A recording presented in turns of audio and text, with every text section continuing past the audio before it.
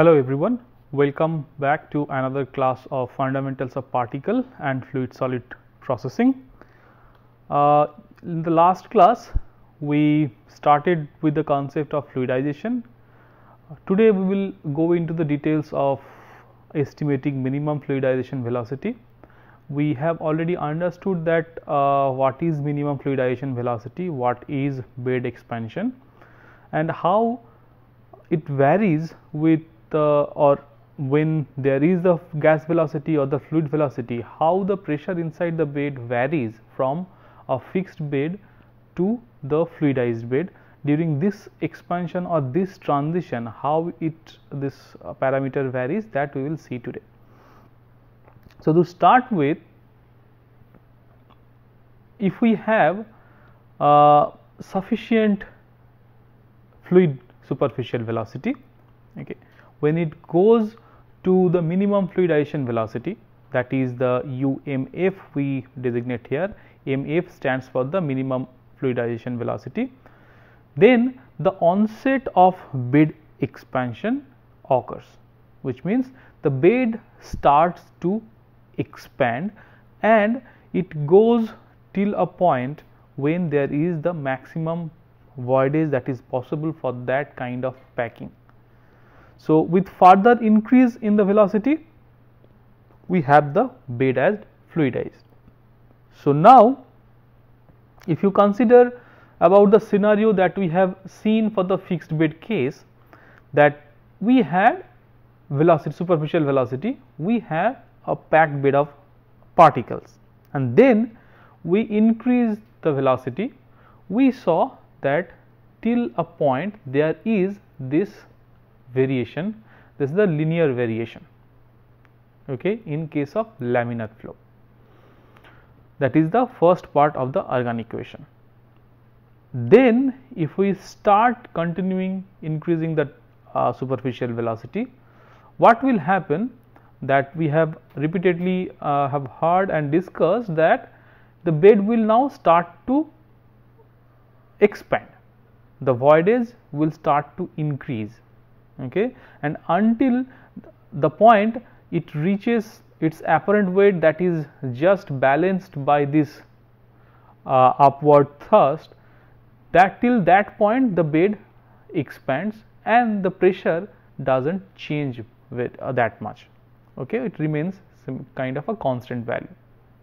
So, here this parameter is the pressure gradient that is mentioned here against u. So, it reaches a maximum pressure value okay? Then actually if we look into details then we will see that it drops because of this increase in porosity or voidage in the bed. It slightly drops okay?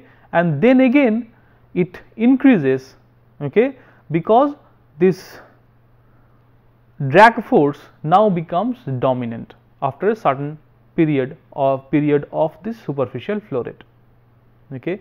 So this pressure gradient increases due to the frictional drag of the fluid on the walls when that is transporting these solid particles. Okay? So we have a moment okay where the whole bed is fluidized and then we have the transport region where now the particles are being carried with the fluid or the fluidizing fluid. In between that some period of time the pressure gradient basically decreases the pressure drop per unit length that decreases and that decrease happen as I said due to this increase in the voidage. The particles or the bed it have now a smaller weight of the particle per unit height of the bed. This is the balance between that we have discussed balance between the apparent weight okay, and the pressure gradient. So, this is this is what basically happens during the fluidization. What happens with the pressure drop instead of pressure gradient which is the pressure drop per unit length, if we look into that we see such profile that we have already discussed during a problem. So, what happens that if you now simply plot del p versus u, you get a linear profile, you get a point okay, till this end of this point A, uh, line A, you have the minimum fluidization velocity that is the onset of fluidization. After that for a certain period the bed expands okay and as the velocity the voidage increases okay pressure drop slightly decreases and then it remains unaltered for a period until the transport happens. Okay. So, then if you come back on the same line like we went from this point to the end of point A by increasing velocity, further increment in velocity leads to point B, further increase in velocity we have a point C, after that the bed expansion is completed okay, and the pressure drop remains unaltered till the point let us say D. Now, from this stage okay, if you now decrease the superficial velocity or the fluidizing uh, fluid velocity, it would follow this path D to C okay, then to E instead of going through this B path and it follows this E F path.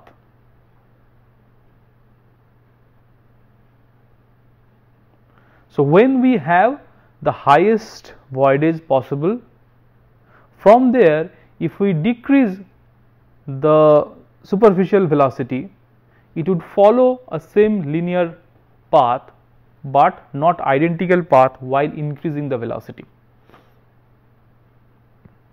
There are several studies which relates or finds expression between the startup and this shutdown procedure. If I say in a startup operation and its closing down or the deaeration process. So, this is the characteristics of fluidization or the fluidized bed. So, we have the pressure drop and velocity and in the previous slide I showed you the pressure gradient versus the velocity.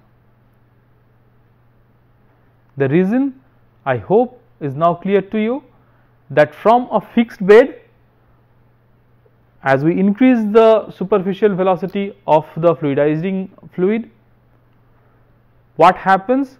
The bed starts to disengage, the expansion happens, reorientation of the particle happens, it finds its maximum porosity with those particles by reorienting themselves so that the flow resistance inside them becomes lesser and lesser and the minimum value okay and then the transport region occurs after a certain period. Until and unless the it cannot withstand that much pressure gradient the whole apparent weight of the bed cannot withstand further the pressure gradient of the bed the transport happens and as the transport happens we know that as the suspension flows or such kind of flow happens with increasing velocity again the pressure gradient increases due to the drag exerted on the wall. Fine. So, this UMF or the minimum fluidization velocity can be determined experimentally by increasing and decreasing velocities. These two lines. And plotting this pressure drop versus velocity results as we have seen. Okay? And practically when we get the intersection of these two straight lines or the best fit between these experimental points while increasing and while decreasing uh, the superficial velocity we get these two pressure drop lines and when we plot those or find the best fit linear fit and we have the intersection between the two lines that is detected as the minimum fluidizing velocity. So, typically linear plots are popular than the logarithmic plots, but logarithmic plots are important or becomes unavoidable when there is a non-linear pressure gradient against velocity in the fixed bed. And when that happens, you know that when that flow regime shifts from laminar to the transition or the turbulent regime, then the pressure drop does not vary linearly with the superficial velocity. Then to have this straight line intersection, you must plot those on the logarithmic plots. So, this is the effect or the influence of fluid velocity on the packed bed to the fluidization or during fluidization the influence of fluid, fluid velocity. So, how do we estimate in other way this minimum fluidization velocity? Typically in fluidization when we say the pressure drop it is basically the weight of particles minus the upthrust on the particle okay, by the bed cross sectional area. Okay. This is the balance we have already done. If you remember this balance we have already done that this is the pressure drop of the bed or the pressure gradient that happens in the bed balanced by the apparent weight of the bed and this is the apparent weight. Solid fractions relative density multiplied by the g. Fine. Now, if you remember again or recall the Ergun equation, okay, we can write this expression because if you think of it's a it's kind of a similar manner that the flow is happening upward in a packed bed until the minimum fluidization velocity. This relation should give you an estimate if not the accurate answer for the pressure gradient because until that minimum fluidization velocity the bed is not fluidized. So, you can think of that is we are having a fixed bed structure, but with the maximum porosity. So, the point is that if we use Ergun equation until the point of this minimum fluidization velocity, we can replace then this del p expression in fluidized bed at that fluidizing state here in place of this del p.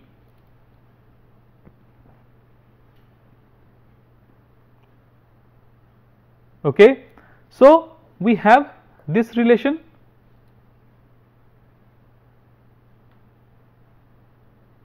we further simplify this relation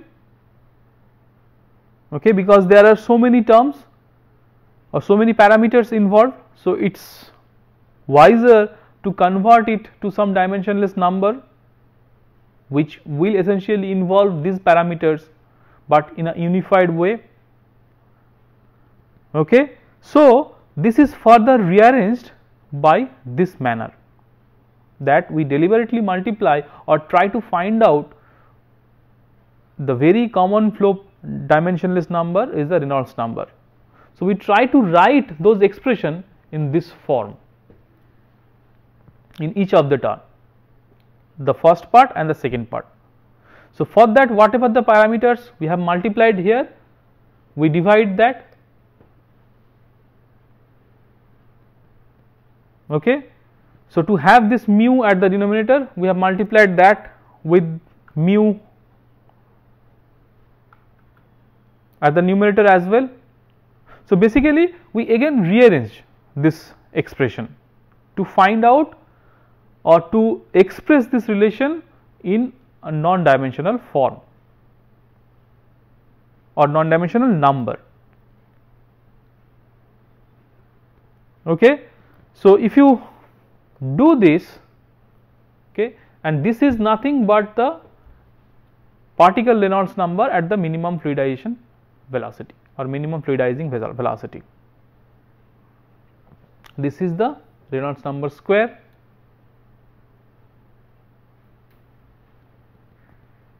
Okay. So, this parameter is here 1 by this parameter. So, the right side is basically simplified in this way that this is 150 again at this stage this 1 minus this thing goes out 1 minus epsilon. So, you basically have 150 1 minus epsilon by epsilon cube Reynolds number at the fluidizing velocity or the minimum fluidization velocity 1.75 multiplied by 1 minus epsilon cube Reynolds number square at the minimum fluidization velocity and this parameter we have already seen earlier it is another dimensionless number called the Archimedes number. Okay, or if we clearly write that this has this expression. So, which means between the Archimedes number and the Reynolds number we have a relation okay, that involves the minimum fluidization velocity. The Reynolds number expression is having the minimum fluidization velocity into it and the Archimedes number deals with the fluid properties. So, this from this relation we have on one hand this is the relation between the Archimedes number and Reynolds number at minimum fluidization velocity.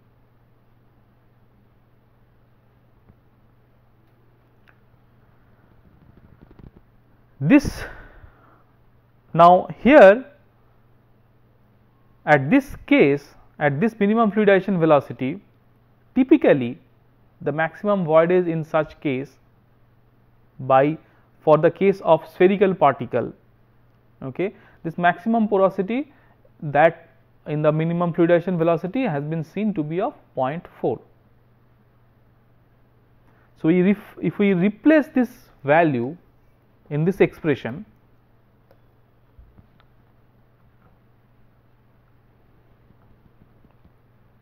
okay so then we can find all these expressions are simplified and we get Archimedes number and Reynolds number at this minimum fluidization velocity with these coefficients for spherical particle. And Wen and Yu has uh, had proposed similar correlations that fits a wide range of particle. Okay? Or wide range of sizes. It covers spheres and this much of Reynolds number or the particle Reynolds number for sizes larger than 100 micron.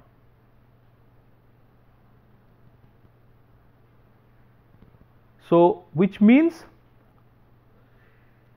once we have found out the relation between this Archimedes number and the Reynolds number at the minimum fluidization velocity based on this all other parameters here because here usually all these parameters will be known to you. Because you are handling the fluid you have chosen that fluid the particles are also known the size mean size. Okay? And here these parameters are also known except the UMF and this minimum U that would be required to have this balance between the Archimedes number and the Reynolds number will give you the minimum fluidization velocity.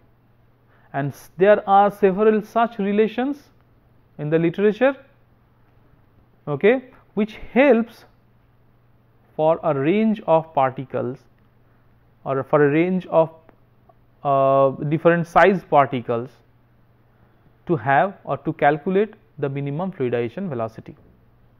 And this relation as it is shown here has some restriction to use or in other way it can be used safely if these criterias are met.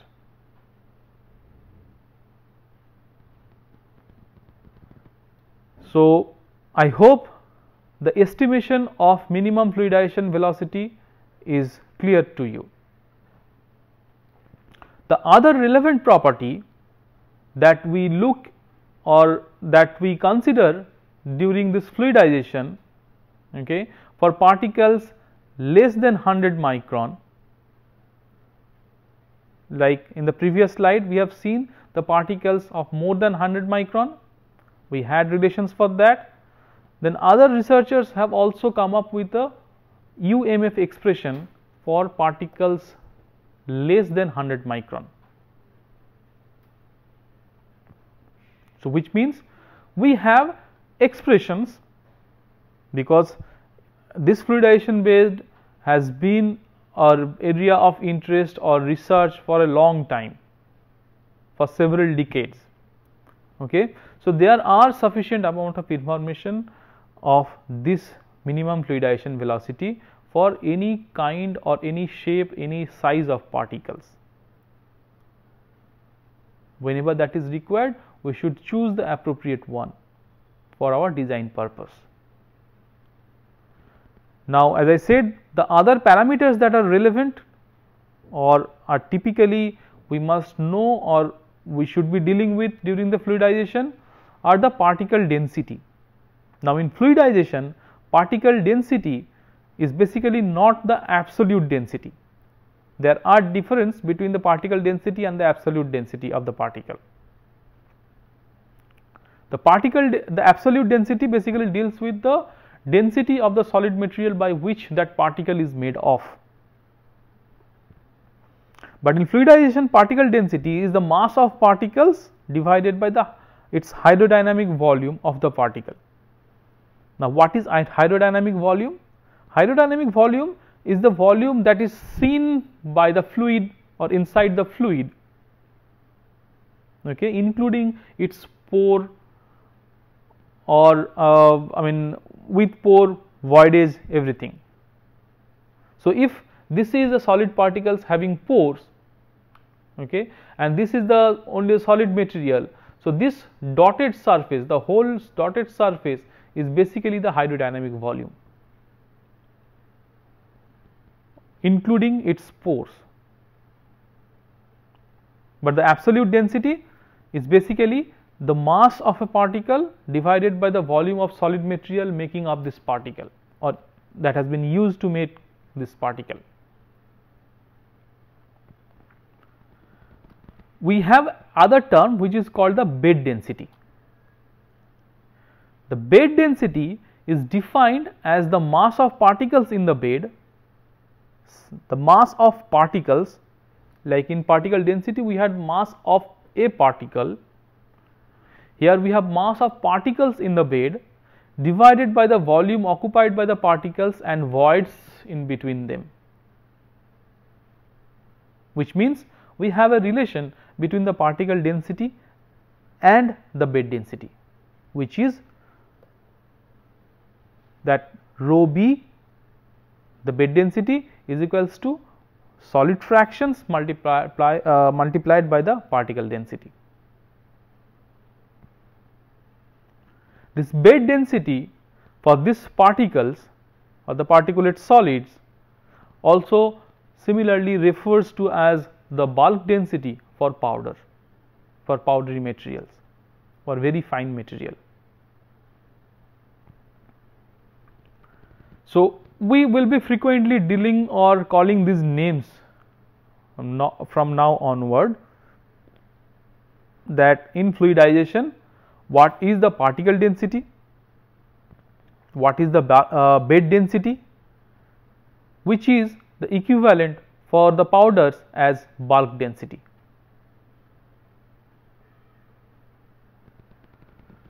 So, these are the relevant parameters okay, that we should remember and these are easy to remember and what are the relation between the particle density and the bed density. If you remember these expressions you can always derive that or if you remember these expressions you can remember what are the expressions for that.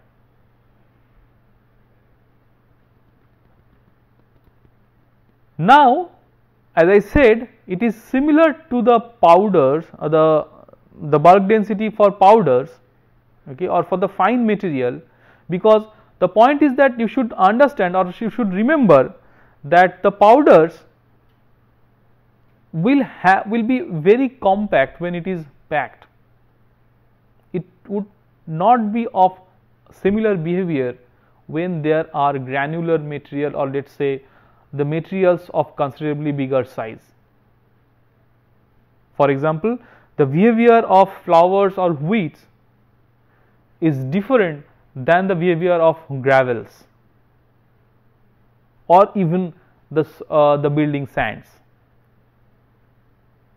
Okay. So, in the next class we will be seeing this characteristics of the powder in fluidization or how the powdery material, how the powdery state actually uh, influence the fluidization characteristics or how this characteristics when there are powder inside a bed and how the fluidization is influenced.